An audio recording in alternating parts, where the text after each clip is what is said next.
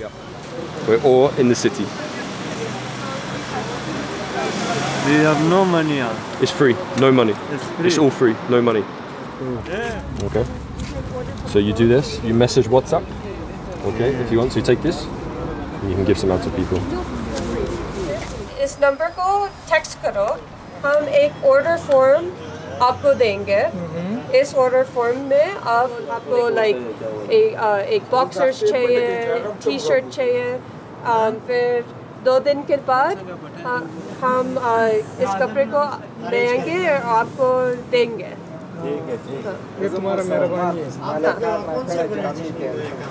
Collective add हाँ Today we're at the uh, central bus station in Sarajevo.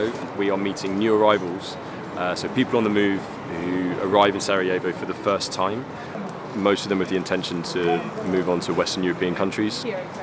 The people that we meet um, every day on distribution um, have often made very long, uh, difficult, very difficult journeys uh, to Sarajevo.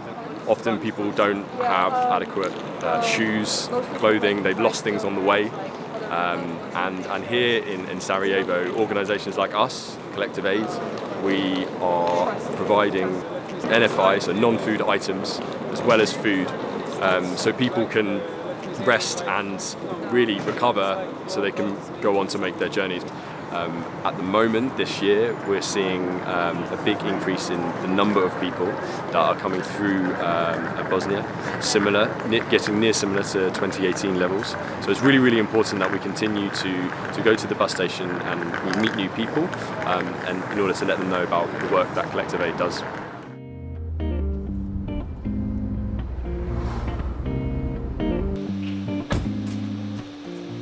Usually people text us and then they get this automatic reply with the job form link explaining that they can order through this link.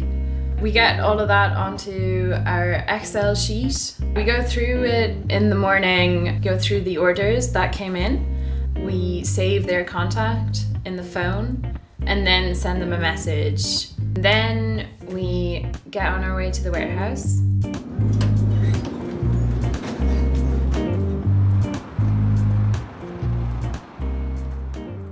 Because we've just moved warehouse, like the past three days, we've just literally been counting. So this is all the men's item. So as you can see, we've got like thick jumpers, thin jumpers, we've got t-shirts, trousers.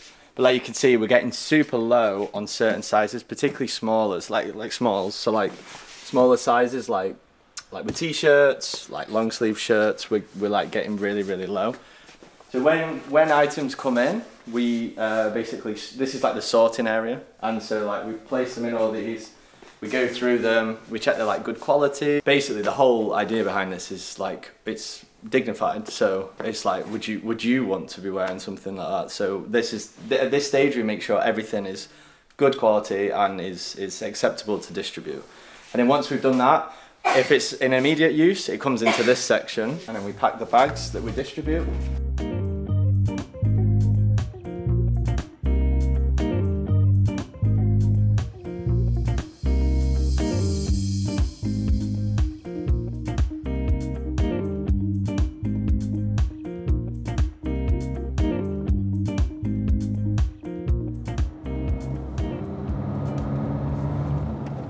So this is a, a short walk from uh, Blažuj, which is the, the single men's camp. Um, so we're kind of off the main road, um, and it's a short walk for for people who are staying in the camp to um, to access our distribution. Um, so yeah, we're coming here uh, Monday to Friday uh, around the same sort of time, so the guys know where we are. So we were distributing on the side of the road. Um, it was actually a really good location, but the police stopped us back in April. Um, and yeah, we weren't. We were told we weren't allowed to distribute there. So we've basically moved moved locations now to this place. Okay. And do you have your number, your order number? Yeah, that's good. Um, medium, small, okay, this is small. We distribute to two different camps here. Most of the people are in Blažuj. Blažuj is a camp for single men. Most of the men are quite young. they would be like 20s, 30s, that kind of age range. The people that we see are mostly from Afghanistan, Pakistan, and other Middle Eastern countries, but also increasingly people from East Africa, from Burundi, but also some North African countries like Morocco and Algeria. It would be around 20 to 25 orders that we do a day. A lot of the time, it would be one person ordering for a group of five. Sometimes it would be maybe like 50 people that we distribute to a day. I have one next this. Uh, gelato. Next no, Thank you. Love you everybody. Ciao, ciao.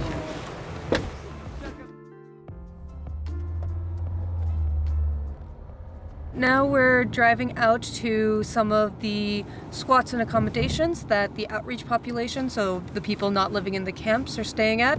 We're going to distro some hygiene. We're also going to give them our number and tell them about our services. Um, this is like a population that is often underserved because they're not in the camp, so they can't access the camp accommodations or the services that are offered there. Not that there's that many. Um, so we do try and make sure that we are filling that gap. There's a lot of reasons why someone would choose not to go to a camp, and we can only speculate without asking them directly. But camps can often be environments that are oppressive or uh, there's a lot of politics involved uh, about like who's getting served and who isn't. Um, they can often be unsafe for certain vulnerable populations. So there are many reasons why someone would choose not to go to a camp. We still feel responsibility to serve them, and so just because they aren't as accessible or as centrally placed as the camp population, it then becomes incumbent on us to go out of our way to make sure that they know what our services are. It's consistent, huh? Yeah. consistent with the last group, which was Yeah. five. You're welcome. E con chiavi, insomma. For women and babies, we also offer menstrual pads and diapers. Uh, these are important hygiene items because without them, it can create health concerns, uh, so it's very preventative. We also run a ophthalmology appointment referral system, so we take referrals from the camp uh, for people who need to get their eyes tested, and then we arrange for them to uh, receive a prescription, and then we pay for the glasses. The winter is uh, approaching quickly here in Bosnia, and it gets extremely cold. Now, from, from the border through Croatia, Slovenia, Italy, it can take up to 10 to 15 days walking. Uh, through the winter months, this is extremely difficult for people. So people have to be prepared. Uh, it can be it can be potentially you know life threatening. Uh, we wanted to prioritise thicker clothes. We're getting low on, on a lot of things, particularly the smaller items, which are our most needed for sure. We are going to be really pushed because we know that they're going to be not only the needs of the camp because we are the, one of the main providers of NFI in the region, but also knowing that people want to restock and you know get the things that they need before they go onto their journey. We're desperately asking people uh, to donate um, any clothes that they might have um, so we can continue supporting people here. Alternatively, the best way to support us in Sarajevo is to donate money uh, to go on our Instagram or on our website um, in order to, to give us a cash donation um, so that we can buy some of the most needed items. Collective Aid is uh, largely run by volunteers. Volunteers are at the heart of the work that Collective Aid does. Like none of the support that we provide to people would be able to to happen if we didn't have people who give up their time um, and volunteer for the organisation. Being part of Collective Aid um, is an incredible experience. Um, we have an amazing team and we're always looking for new volunteers, particularly uh, as it's coming up to winter and into the new year. So I would say if you're interested, um, we'd love to hear from you uh, and please contact us.